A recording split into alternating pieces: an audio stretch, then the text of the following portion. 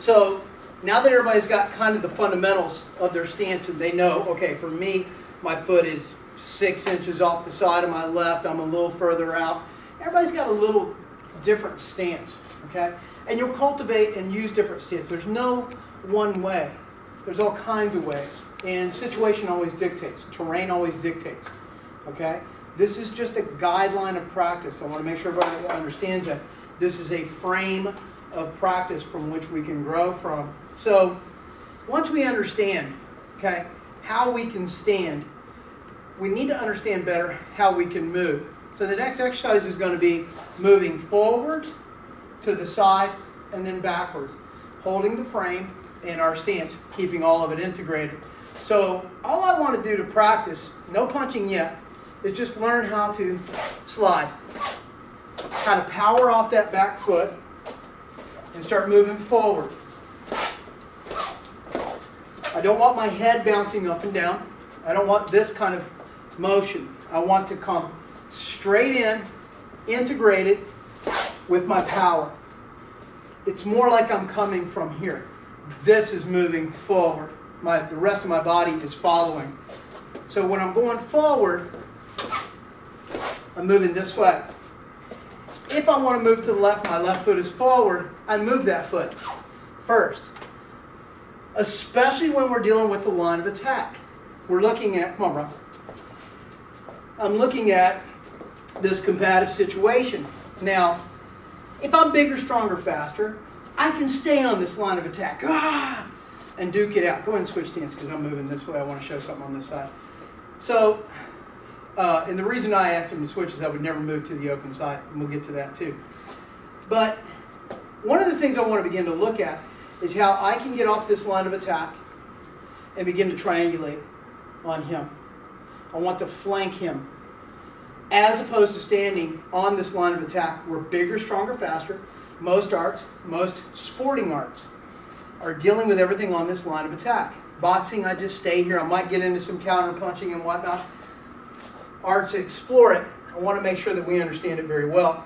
So, once I understand how to move forward, I also want to start to understand how I can start moving side to side. The very first thing that has to go is this front foot if I want to go the direction of the front foot. It moves first. The other foot follows.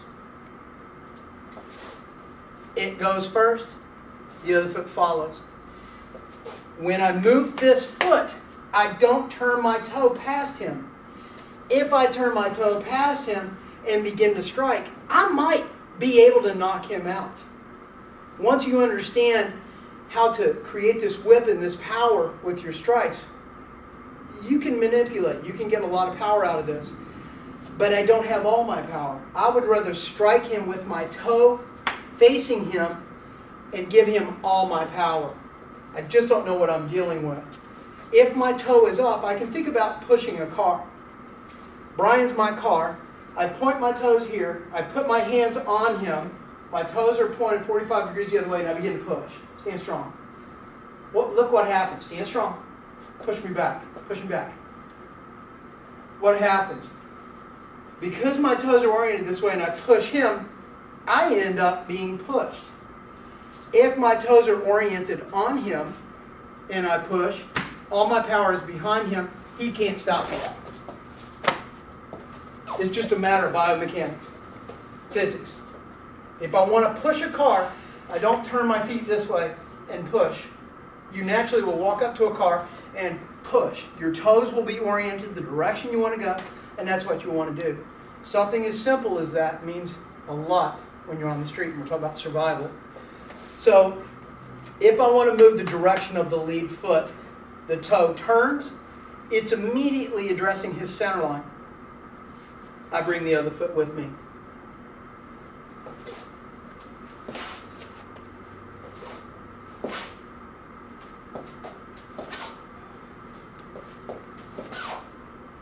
As opposed to staying here. If I want to move right, my left foot is forward.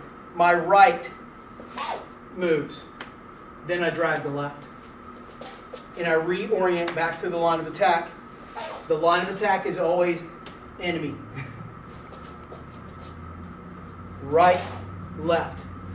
Same thing, if my right is forward, I want to move right, it's going first, I drag left. I never, ever, ever cross my feet. If I want to go right, I never cross and switch in anything. There's no art out there that would tell you, I don't want to say that. It's out there somewhere, I guarantee it. Standard stuff. Forward, backward. If I'm moving backward, where's the power coming from now? Front leg. So there has to be an equal power in both of these legs. Both of them are coiled in, in, in, in like springs. I can move forward. I can move backward. I can move left. I can move to the right.